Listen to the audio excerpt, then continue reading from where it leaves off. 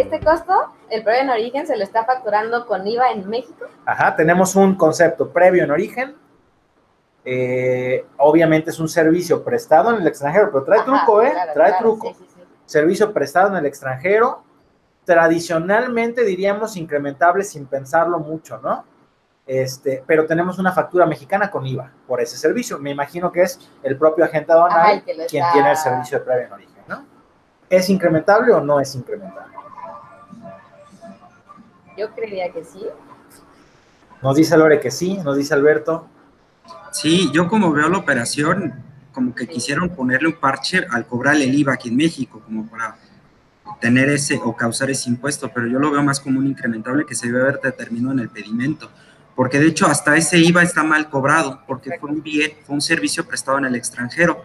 De hecho, eh, eh, eh, esas operaciones en la ley del IVA eh, un profesor decía, son operaciones que no están encuadradas en la, ley del IVA, ¿no? Porque es un bien prestado en México, ni siquiera debe tener tasa cero, ni tasa exenta, porque es un bien o un servicio que fue prestado en el extranjero. Yo eso así lo veo. Y dos, yo te recomendaría rectificar tu pedimento agregándolo para realizar el deber ser, ¿no? Quizás ya pagó impuesto y se lo puedas justificar a la autoridad, pero si el día de mañana detectan que no pagaste impuestos dentro de tu valor en aduana en el pedimento, quizás te puedan ahí determinar una omisión de contribuciones. Porque acuérdate que no solamente es incrementable, debió de haber pagado una, la proporción del IVA, sino si tus mercancías también tenían algún arancel o en su caso de TA, también eh, ser sancionado por no haberlos pagado en el momento indicado aunque también, no sé, porque al final el servicio se lo está prestando la gente aduanal, ¿no? Por el, tema del, IVA precio en origen, ajá. Del, previo en origen. Este, mira, yo difiero, ¿eh? Con ustedes, y ahorita les voy a explicar mi postura, que eso es lo padre, porque qué buena onda que tenemos estas mesas de debate, ¿no? Este, yo difiero. Voy a dejar de lado el tema del IVA, porque no sé si causa IVA, tendríamos que meternos a analizar muy bien en cuestiones más bien fiscales y no aduanales, por eso es que lo voy a dejar fuera, porque esto es más de aduanas, ¿no?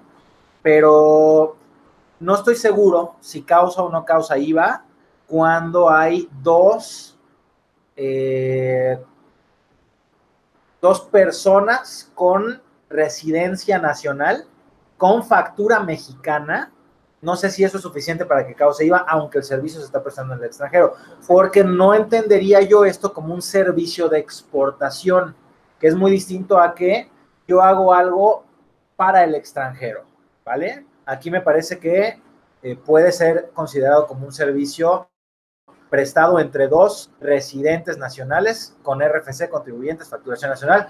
No lo sé, vamos a dejarlo, puede, el, el tema del IVA en esa factura lo voy a dejar fuera. A lo mejor Alberto tiene la razón, no sé. Pero en lo que difiero totalmente es en el cargo incrementable, ¿eh? Yo soy de la opinión de que no se debe de incrementar y ahí les va el por qué.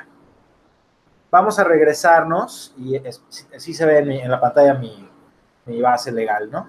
Me voy a regresar nuevamente al 65 eh, de ley y me voy a ir al 66, que me dice cuáles son conceptos no incrementables, ¿vale? Entonces te dice el 66, el valor de transacción no comprenderá los siguientes conceptos siempre que vengan desglosados o facturados por separado. O sea, supongamos que la factura del previo en origen es una factura independiente o viene desglosadita en la cuenta de gastos de la agente aduana, ¿vale? Un cargo de previo en origen. Y me dice aquí la fracción primera, los gastos que por cuenta propia realiza el importador, aun cuando, es, aun cuando se puedan estimar que benefician al vendedor, salvo aquellos respecto de los cuales debe efectuarse un ajuste conforme al artículo 65. O sea, te dice aquí, no me vas a incrementar los cargos que efectúe el importador, salvo que estén llamados en el artículo 65. Sí queda clara la interpretación, ¿no? No me debes incrementar, aun cuando tú te lo gastes, excepto lo que esté llamado en el 65, eso sí me lo tienes que incrementar. Y si nosotros nos vamos al 65, esto quiere decir que el 65 es una lista exhaustiva, ¿no? O sea, no, no está abierta a la interpretación, salvo por un pequeño error que tiene, pero el 65 básicamente, por órdenes del 66, no se vuelve abierto los cargos incrementales. O sea, no te dice todo lo que te gastas en el extranjero lo debes incrementar, como es la, la noción más común que tenemos de incrementables. Lo que me dice aquí es, incrementa los elementos que se mencionan a continuación. Comisiones, corretajes, envases, embalajes, gastos de embalaje, gastos de transporte, seguros y gastos conexos, tales como maneja carga y descarga, que aquí es en donde queda un poquito abierto a la interpretación. Y si decimos que el previo en origen fue conexo a las maniobras de carga, pues a lo mejor, ¿no? A lo mejor lo podríamos incrementar. Pero si decimos que no, pues es un cargo distinto, no se encuentra llamado en el artículo 65.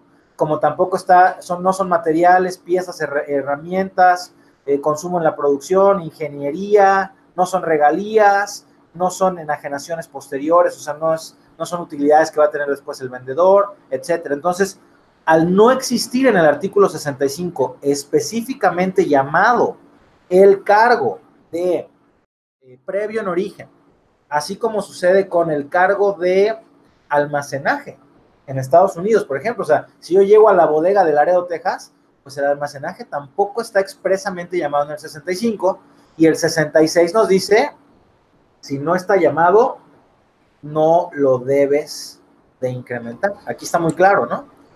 No comprende los gastos del importador, salvo el 65. Entonces. Por eso no debería de incrementarse, aunque queda abierto y si tú lo manejas como un gasto conexo a la carga en origen, lo mismo que podría pasar con el almacén. No, es que el almacén es parte de mi logística y es parte del, del transporte hacia México hay justificación para incrementarlo. Pero si no lo incrementaste y te lo cuestiona una autoridad, también hay justificación para decirle, señor, no está en el 65, ¿cómo quieres que te lo incremente? Entonces me parece que e, está mal redactado el 65 porque por una parte te dice, esto es una lista específica y en esa lista te dice y, y otros parecidos. Entonces ahí ya se vuelve un poquito complicado. Me parece que la postura es dual y yo en lo particular me inclino más hacia no incrementarlo porque no está llamado en el 65. Y más en el caso que nos plantean, si se tiene una factura mexicana, en donde ya pagaste un IVA, ya la vas a poder deducir totalmente, yo no lo incrementaría